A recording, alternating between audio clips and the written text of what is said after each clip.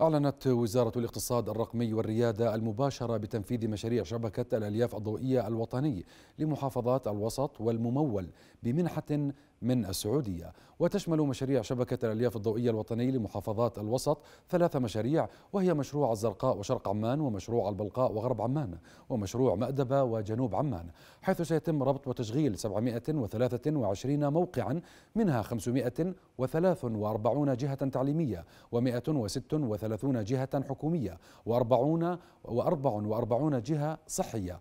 وربطت الحكومة منذ سنوات 1800 موقع من مدارس ومؤسسات حكومية ومؤسسات صحية ومراكز طبية باستخدام أحدث التقنيات الرقمية.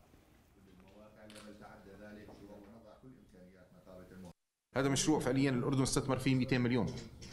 هو تقريبا أكثر من 6000 كيلو متر من من ال fiber في كل محافظات المملكة. وإحنا على الطريق لطرحه لمشاريع الشراكه بين القطاع العام والخاص ليكون wholesale operator لباقي الشركات تستفيد منه لأن تقدر توصل الإنترنت على ال fiber إنترنت عريض النطاق لمليون 300 ألف بيت بالأردن.